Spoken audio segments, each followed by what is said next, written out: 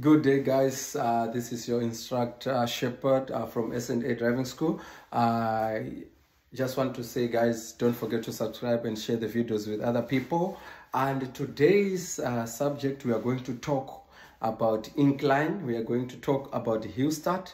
We are going to talk about the mountain hill. So to all those guys who are looking at us everywhere you are, Limpopo, Debeni, Johannesburg, uh, Port Elizabeth, Cape Town. You guys, you need to understand what is the tactic that you need to do. I'm just doing this theory. Some and somehow it can help people so that when you see those videos that we put there for practical lessons, you understand uh, that uh, what is happening. It's very, very cold here where we are. But anyway, stay tuned and listen to exactly what will happen on this incline story. Okay, I'm going to draw my mountain. Forget about my mountain. Do not worry about it. Right. This is my mountain. Right. Okay. This is my mountain. And this mountain here, there's a signpost here. Okay, the signpost is not quite nice. Let me do this. Inside here it's written stop. Inside here is written what? Stop. And um, right. Right. I'm sure you can see that. Okay. Ah, this one is a good mountain. I can see now also. Okay, guys, listen to this. Uh, remember, when you are doing things like uh, incline and um, let me say, when you are doing the parkings, your heart needs to be very, very comfortable. You need to be relaxing. You need to not to have pressure. Don't think about it a lot. But the moment you think about it a lot, you are going to forget what you're supposed to do. So in this, uh, in this um, uh, incline of me, hill start or mountain start, it happens that everyone, they've got their own uh, saying it. For me, I will say it incline is way. Guys, understand this tactic. You don't need to hurry yourself. When you go to the incline now, remember, this is the line here where you need to stop. This is the line here where you need to stop. Right. I'm sure you, it, you can see nicely. Uh, there's also another thing here. It's also saying about uh, both sides. It will be written stop. I'm sure you can see this thing nicely. You see now. So this is you um, coming from this side here. I always see other people, they've got problem when it comes, they've got problem when it comes to position their car nicely. They don't know really where to stop when you are going to incline, right? So, what I've noticed when the people have got pressure on the exam, they've got everything that they have, and they're not relaxing at all because they are scared of that incline. They come and stop here. Okay, let me just do my lines. And it's written stop as well down there most of the time.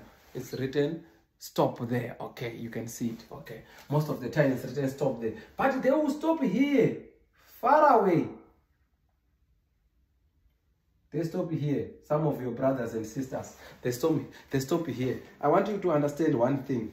Do you see right sorry. Do you see uh, that uh, if you stop here this mountain is going to be very difficult for you because it will require more balance this is how the setup of the traffic departments that I've uh, uh, discovered. That if you stop here, the truck will, okay, I'm talking about code 10 truck, right? I'm not talking about code 8. So don't mix it. I'm talking about code 10. So when, the, when your truck stand there, it, it, it intends to have more, more, more balance. It needs more balance than usual. So if you are clever out there listening to these videos, as you are driving from this side here, from this side here, you are the one who's driving here. You know yourself, all right? Okay, you are driving. Don't be that kind of person. You're gonna stop that car here. No, go closer here. Go closer there where the right stop there. Go and stop there. The heavier of the mountain or the momentum that you need there, it won't be much as as compared to be the one that is here. You understand? the momentum it won't be as much or the heavier of the mountain it won't be much as compared to the one of the stop sign you understand so rather if you are clever do not stop your car from this side go and stop your car closer to the to the stop sign here that is when you need to stop your car all right after we go there now there's this another story when people going to stop there they forget that they need to use both clutch and brakes. So what do they do there when they go there? Some of the people, they only um, press brakes and leave the clutch and the car will, will switch off. You see? So from that incident of switching off the car now, that is where the problem started. That is where the nervous will come because you're not really understanding what you must do. So when I teach my people, my clients, my students, what I tell them that is that when you are going there, you must learn how to do brakes and clash same time. One time, this is your your your your your, your clutch, this is your your right hand, this is your brakes. So you go with the with the with the with the when you want to stop slowly but sure, bit by bit, one time you stop. Even if the truck go that uh, uh, does that uh, that hiccup like in front like this it doesn't matter. As long your truck or your vehicle stop stationary stop. And then you say in your mind if you are talking that's your advantage. You say handbrake up you put your gear neutral then you relax. You leave everything. Do you know why you must leave everything? If you remain on the brakes there is a, a, a, gap that is between the brakes and, uh, and, uh, and, and, and, and, and gears. So if you keep on pressing brakes, it means that the, the, the, the, the mindset of the vehicle will still remain stopping, even if you, you already engaged to gear number one. You understand? The mindset of the vehicle will remain what? standing still because now the other mind of the vehicle will say now you have put gear number one to go but also in your other mind is saying the the vehicle must stop so before it goes forward when you release the brakes it will start going backwards first to accommodate that gap that was between the gear and what and the brakes so i urge you guys that when you are going to stop brakes and clutch that time do not forget to put your handbrake up, gear neutral, and leave everything. The car must be in neutral, the car must be stationary. And then now, to other traffic department, when you are there on that stop sign, you have to say mirror mirror blind spot indicate to the to the right side because they assume that here, here, here, as, as, as, as you going down there, you are going to turn to the right side. So the road will go and turn to the right side to go over, maybe to the straight reverse or to the to the to the to the alley docking. It's depend with the setup of the of the traffic department. But forget about that thing of the of the right turn. Let us talk with the important thing now.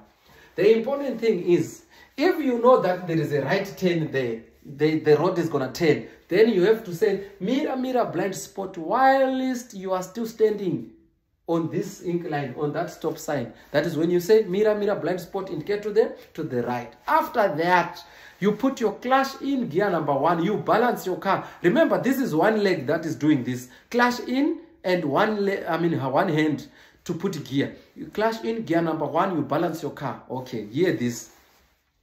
For all the people that are using code 10 trucks, trucks, they've got a heavy balance. Always, the balance of the truck is very he heavy. So sometimes you don't need accelerator. Because sometimes other people they forget that they are balancing now. So when they press accelerator now and they also press the clutch inside meaning to say now this truck there is only revving, but there is no the balancing. So for me, my students, I told them that it's better to hear that noise of the truck only by the clash here very very heavy and you can see that the truck is forcing to go instead of you putting the accelerator and then relax thinking that accelerator is going to move the car the car is never moved with accelerator the car is moved with what with the clash so guys, hear me very well. After gear number one, you balance your car.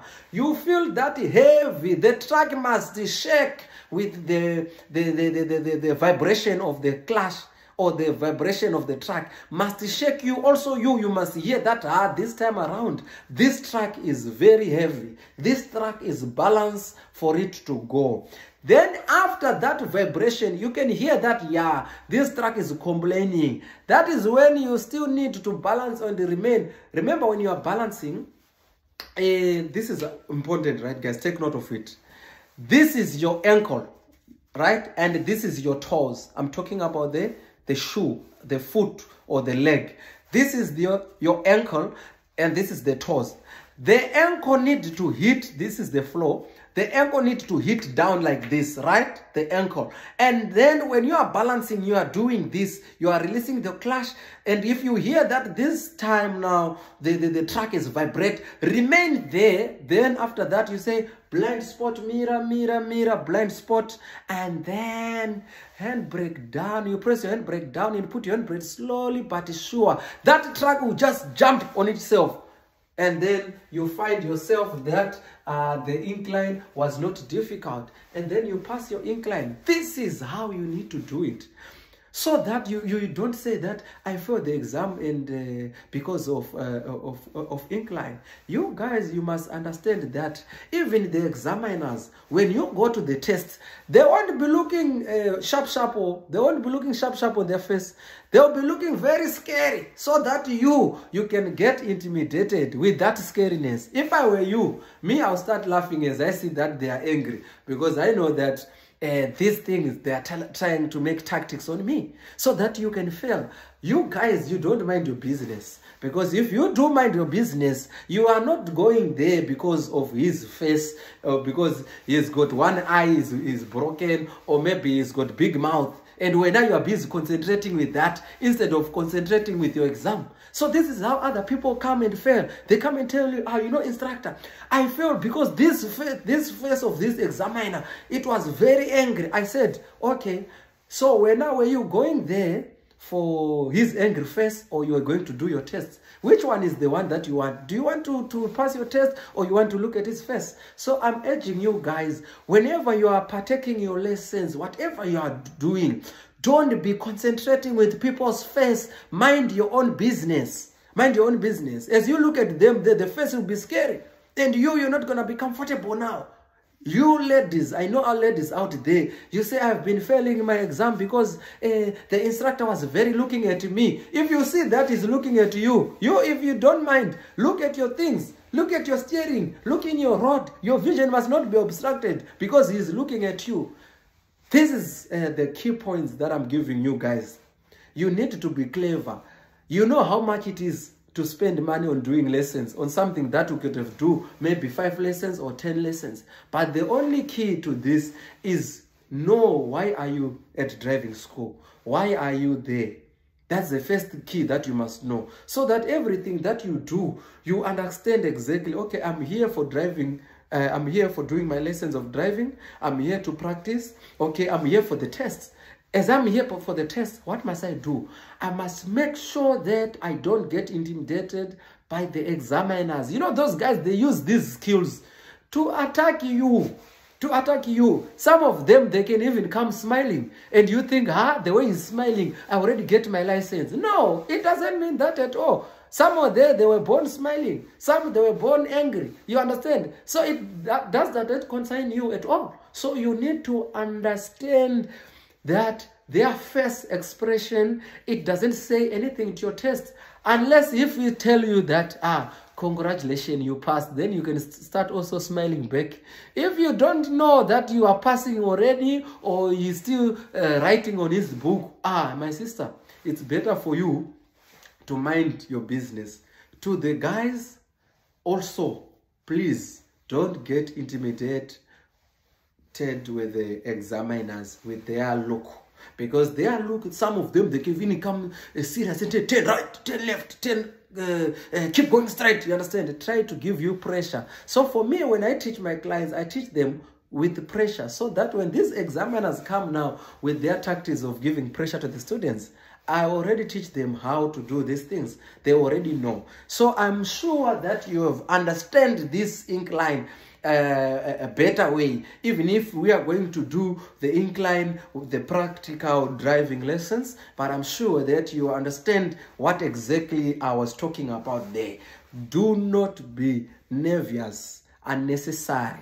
These are just examiners. Examiners is a human being as you. This person you also eat he also drinks it means that is a human being in his veins here there is blood meaning that is a human being so in your mind to those people who've never tested before don't think that, ah, you know what, eh, this person is going to be thinking if I make a mistake, yeah, all those things. As you go to the exam, you must know why you are there. Go with understanding of the exam. Thank you guys for watching these videos. I'm going to explain a lot about all these tactics, how these examiners try to find mistakes on you. For me, on today, I'll end here. I'm sure you understand uh, how is it important to be calm? How is it important to mind your business? Okay, stay tuned, guys. I'm happy to see you. I hope that you like these videos and share with other people. Don't forget to subscribe and share the videos with others. Thank you, guys. I will see you on the next video. I hope you enjoy. Thank you.